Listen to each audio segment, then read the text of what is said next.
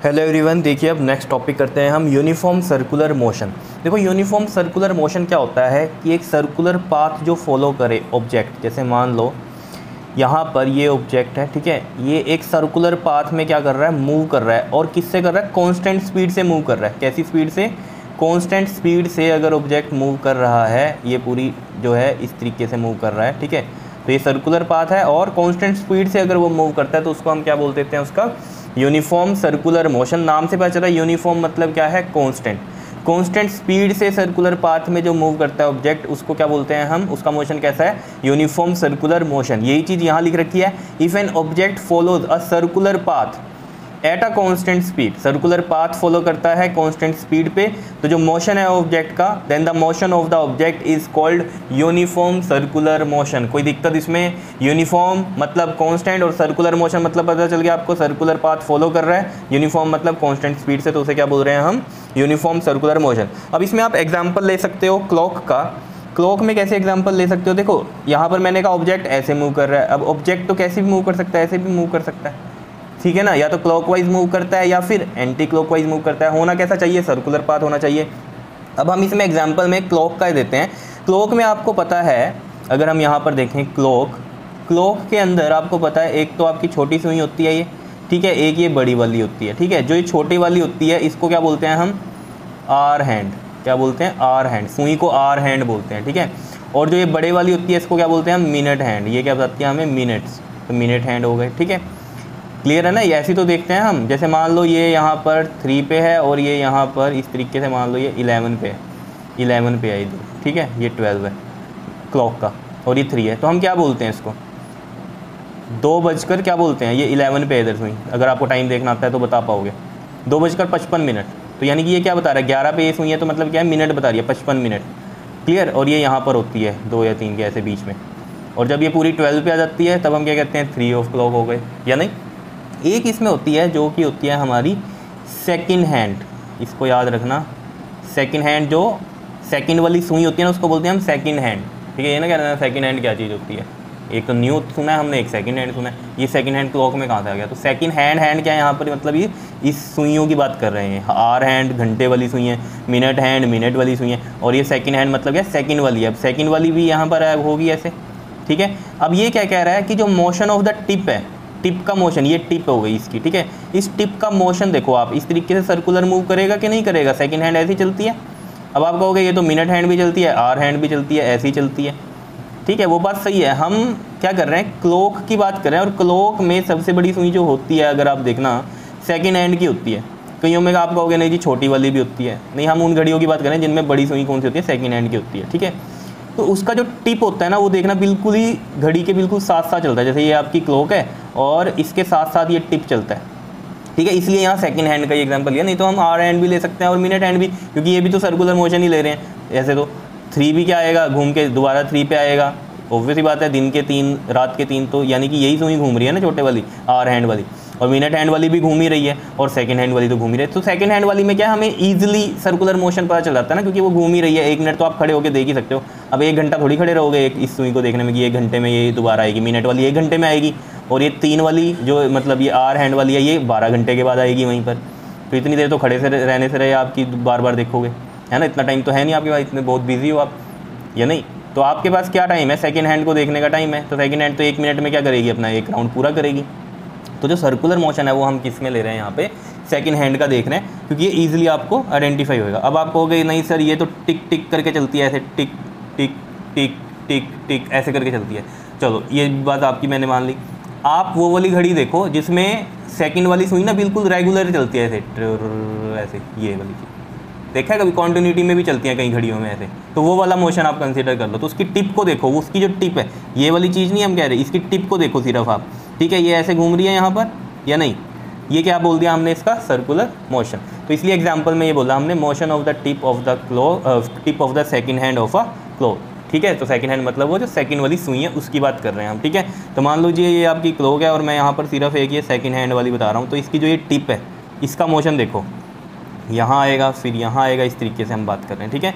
तो ये जो मोशन है, इस तरीके से हो रहा है इसका, ठीक है? थोड़ी देर बाद देखा तो यहाँ है, थोड़ी देर बाद देखा तो यहाँ है. कर समझ रहे हो ना बात को? तो ये क्या हो रहा है? इसकी टिप को अगर हम देख रहे हैं तो ये इस तरीके से मोशन दे रहा है। यहाँ पर ये डायरेक्शन हो गई। इस पॉइंट पे देखेंगे तो ये डायरेक्शन हो गई। इस पॉइंट पे देखेंगे तो ये डायरेक्शन हो गई। डायरेक्शन हम कैसे देखते हैं? टेंजेंट से कि इस पॉइंट पर क्या डायरेक्शन होगी? इस पर्टिकुलर पॉइंट पर तो ये डायरेक्शन होगी। इस पर्टिकुलर पॉइंट पर डायरेक्शन ये होगी। ठीक है, ये बात आपको समझ में आ रही है? चलो मेन बात मेरे को आपको यहीं पर, यहाँ पर ये समझानी थी कि यूनिफॉर्म सर्कुलर मोशन क्या होता है उसका एग्ज़ाम्पल मैंने आपको एक क्लॉक का दे दिया, ठीक है? बात करते हैं जो इम्पोर्टेंट है, जो आपके एग्ज़ाम में भी पूछी जाती है कि why uniform circular motion is called accelerated motion uniform circular motion को एक्सिलरेटेड मोशन क्यों कहते हैं? अब आप कहोगे कहते होंगे, लेकिन यार थोड़ा सा दिमाग लगा लो ना। यूनिफॉर्म सर्कुलर मोशन में मैंने अभी क्या बोला आपको? स्पीड क्या है? कांस्टेंट है। स्पीड मतलब कांस्टेंट है तो इनिशियल भी जो होगी मान लो 25 है मीटर पर सेकंड और फाइनल भी क्या है? 25 मीटर पर सेकंड जिसको हम वी से लिखते हैं। क्लियर तो यानी कि एक्सेलरेशन तो क्या होता है हमारा? Change in velocity change in velocity होता है। और यहाँ तो हम चेंज इन वेलोसिटी अपॉन में टाइम अगर करते हैं तो यहाँ पर फाइनल माइनस इनिशियल तो फाइनल माइनस इनिशियल के हिसाब से तो यहाँ 25 फाइव माइनस ट्वेंटी मतलब टाइम चाहे कुछ भी लग रहा है, मान लो दो सेकंड का लग रहा है तो ये तो ज़ीरो बाई टू आ रहा है, यानी कि ज़ीरो एक्सेलरेशन है तो एक्सेलरेटेड मोशन क्यों कह रहे हैं इसको? क्वेश्चन समझ में आया? पहले तो क्वेश्चन ही समझ में आना चाहिए आंसर तो बड़ी बात की बात है। समझ रहे हो कि यूनिफॉर्म सर्कुलर मोशन को हम एक्सेलरेटेड मोशन क्यों कह रहे हैं? बात समझ में आ रही है यानी एक्सीलरेटेड मोशन बोल रहे हैं। और जबकि अभी तो हमने बात करी कि यूनिफॉर्म सर्कुलर मोशन में स्पीड कांस्टेंट है तो कांस्टेंट स्पीड है तो फिर ये क्या हो रहा है? एक्सीलरेशन तो ज़ीरो है, ये एक्सीलरेटेड मोशन बोल रहा है। तो अब ध्यान से समझना कहानी को कि मोशन क्यों कह रहे हैं, देखो ध्यान से। जैसे मान लो ये एक सर्कुलर पाथ है, ये ऑब्जेक्ट मूव कर रहा है यहाँ पर, ठीक है? यहाँ से ये मान लिया मैंने, ये ऑब्जेक्ट है, ठीक है? ये ऐसे मूव कर रहा है, ठीक? और डिस्टेंस कितना है ये मान लो इसका? आर डिस्टेंस है क्लियर अब ये ऑब्जेक्ट यहाँ मूव कर रहा है, यहाँ पर इसकी डायरेक्शन ये है। जब थोड़े टाइम में देखा ये ऑब्जेक्ट यहाँ पर आ गया तो यहाँ पर इसकी डायरेक्शन यहाँ है। थोड़े टाइम में क्या? कुछ भी टाइम आप अगर कंसीडर करोगे कि अभी ये यहाँ है, फिर यहाँ होगा, यहाँ डायरेक्शन अलग होगी, यहाँ डायरेक्शन अलग होगी, यहाँ डायरेक्शन अलग होगी। अभी मैंने आपको बताया था डायरेक्शन कैसे देखते हैं टेंजेंट्स डाल देते हैं। टेंजेंट्स पता है ना सर्कल पे किसी पॉइंट पे टेंजेंट डालना होता है तो इस तरीके से डलता है तो वही उसकी डायरेक्शन भी बताता है। क्लियर है? अगर ये ऑब्जेक्ट ऐसे मूव कर रहा है तो इस पॉइंट पर डायरेक्शन ऐसी होगी। अगर ये ऑब्जेक्ट ऐसे मूव कर रहा होता, मान लीजिए ये, इस डायरेक्शन में मूव कर रहा है तो फिर डायरेक्शन में ये वाली बताता। समझ डिपेंड करता है। अगर ये वाली डायरेक्शन है तो ये बना रखा है हमने यहाँ पर, ठीक है? तो यहाँ कहानी क्या है कि यहाँ पर डायरेक्शन जो है वो चेंज हो रही है हर पॉइंट पर। और अगर हम स्पीड बोलते हैं तो स्पीड में तो कोई डायरेक्शन नहीं होती it's a scalar quantity but यहाँ तो जो ऑब्जेक्ट की जो डायरेक्शन है, वो एवरी पॉइंट क्या हो रही है? चेंज हो रही है। तो यानी कि उसकी डायरेक्शन चेंज हो रही है। अगर हम बोल रहे हैं डायरेक्शन चेंज हो रही है डायरेक्शन किसमें आती है? वेलोसिटी में आती है या नहीं आती है? बात समझ रहे हो? क्योंकि इट्स अ वेक्टर क्वांटिटी तो अगर हम कह रहे हैं कि एवरी पॉइंट डायरेक्शन तो चेंज हो ही रहे हैं ना सर्कुलर मोशन में। अगर एक स्ट्रेट लाइन है, वहाँ पर स्पीड हम कह रहे हैं कौन लेकिन जब हम कहते हैं कि डायरेक्शन है, तब हम क्या बात करते हैं कि वेलोसिटी है, क्योंकि वेलोसिटी के अंदर क्या आती है कहानी? डायरेक्शन वाली आ जाती है because it's a vector quantity या तो डायरेक्शन ये होगी, या ये होगी, या ये होगी। कोई भी डायरेक्शन अगर हम बता रहे हैं तो यानी कि वो क्या है? वेलोसिटी है। तो यहाँ पर डायरेक्शन क्या हो रही है? चेंज हो रही है। डायरेक्शन तो है ही एवरी पॉइंट पर वो क्या हो रही है? कॉन्टीन्यूसली चेंज हो रही है। तो यानी कि अगर डायरेक्शन चेंज हो रही है तो यानी कि मैं बोल सकता हूँ कि वेलोसिटी चेंज हो रही है, बताओ। है कि नहीं बात? और वेलोसिटी चेंज हो रही है तो मतलब एक्सलेशन का फॉर्मूला ही क्या होता है? चेंज इन वेलोसिटी अपॉन में टाइम तो वेलोसिटी तो चेंज हो रही है, चाहे उसकी डायरेक्शन में ही चेंज हो रही है। समझ रहे हो बात को? अगर हम मैथमेटिकली देखें तो ऑब्वियस ही बात है कि भाई एक्सलेशन नहीं है। पर कहानी को सोचो थ्योरेटिकली कि प्रैक्टिकली भी सोचो इस चीज़ को, कि जब हम बात कर रहे हैं डायरेक्शन की तो डायरेक्शन तो चेंज हो ही रही है कॉन्टीन्यूसली और यानी कि उसकी वेलोसिटी चेंज हो रही है। तो वेलोसिटी चेंज ही क्या होता है हमारा? Rate of change of velocity ही क्या होता है? एक्सेलरेशन होता है। तो यानी कि एक्सेलरेशन है, जब वेलोसिटी चेंज है तो एक्सेलरेशन है। वो अलग बात है कि डायरेक्शन में ही चेंज है सिर्फ़। यही तो समझना है। तो यानी कि क्या है ये? एक्सेलरेटेड मोशन है। बात समझ में आ रही है या नहीं? देख लो आप किसी भी पॉइंट पे आप देख लो, यहाँ डायरेक्शन ये होगी, यहाँ पर ये डायरेक्शन होगी, यहाँ पर ये डायरेक्शन है, यहाँ ये डायरेक्शन है। एवरी पॉइंट जो है डायरेक्शन क्या हो रही है? चेंज हो रही है, इसका मतलब ये क्या है यहाँ पर? वेलोसिटी चेंज हो रही है, ये मतलब है, ये बिल्कुल मत समझना कि यहाँ इसकी स्पीड से कोई मतलब है या फिर हम कोई मैग्नीट्यूड की बात कर रहे हैं। वेलोसिटी जैसे मान लीजिए इसकी 25 मीटर पर सेकेंड है तो ये चीज़ तो क्या है इसकी मान लीजिए कॉन्स्टेंट है, ये तो फिक्स हो गया मैग्नीट्यूड लेकिन डायरेक्शन तो चेंज हो रही है ना कॉन्टीन्यूसली तो थ्योरेटिकली अगर हम देखें कि डायरेक्शन चेंज हो रही है तो यानी कि डायरेक्शन किसमें आती है? वेलोसिटी में तो यानी कि वेलोसिटी चेंज हो रही है अगर हम थ्योरेटिकल बात करें तो। और वेलोसिटी चेंज है तो मतलब क्या है? एक्सेलरेशन है, इसीलिए इसको एक्सेलरेटेड मोशन बोला। वैसे कुछ एक्सेलरेशन नहीं है। एक्सेलरेटेड मोशन क्या होता है? या तो स्पीड कम हो रही है या ज़्यादा हो रही है। यही होता है एक्सेलरेशन या नहीं? या हम वेलोसिटी की बात करें कि कम हो रही है या ज़्यादा हो रही है। ज़्यादा हो रही है वेलोसिटी तो बढ़ रहा है एक्सेलरेशन यानी कि पॉजिटिव है। घट रही है वेलोसिटी तो हम कहते हैं नेगेटिव एक्सेलरेशन है।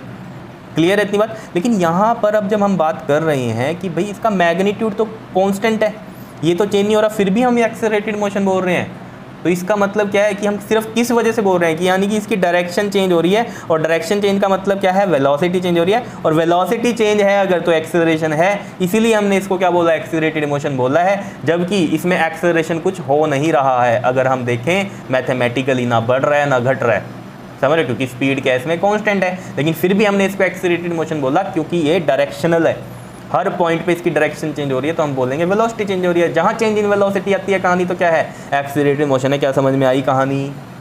बताओ, यही चीज़ें यहाँ लिख रखी है हमने। देखो क्या कहता है the word uniform means speed is constant throughout the motion speed constant है throughout the motion although जबकि the speed does not vary जबकि स्पीड वेरी नहीं कर रही है द पार्टिकल इज़ एक्सीरेटिंग तब भी पार्टिकल क्या है? एक्सीरेटेड है। क्यों? Because the velocity changes velocity change तब कैसे वेलोसिटी चेंज हो रही है?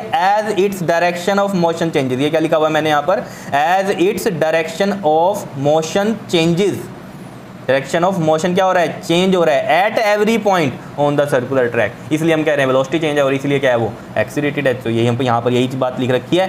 As the rate of change of velocity rate of change of velocity is acceleration change in velocity क्या होता है? एक्सेलरेशन रेट ऑफ़ चेंज हो मतलब टाइम के साथ। टाइम तो हो ही रहा है ऑब्वियस बाय डायरेक्शनल भी चेंज हो रही है तो विद टाइम ही हो रही है clear as the rate of change of velocity is acceleration so a uniform circular motion is an accelerated motion बताओ, समझ में आ गई कहानी या नहीं? बिल्कुल सिंपल सी थी। तो ये था आपके पास uniform circular motion and uniform circular motion accelerated क्यों है? ये कहानी थी यहाँ पर, ठीक है? नेक्स्ट वीडियो में हम कुछ डेफिनेशंस करेंगे टाइम पीरियड और फ्रिक्वेंसी की, और फिर आगे हमारे पास angular displacement angular velocity angular acceleration centripetal acceleration वगैरह, ये सारा हमने पढ़ना है अभी। क्लियर है इतनी बात? बताओ। Okay thank you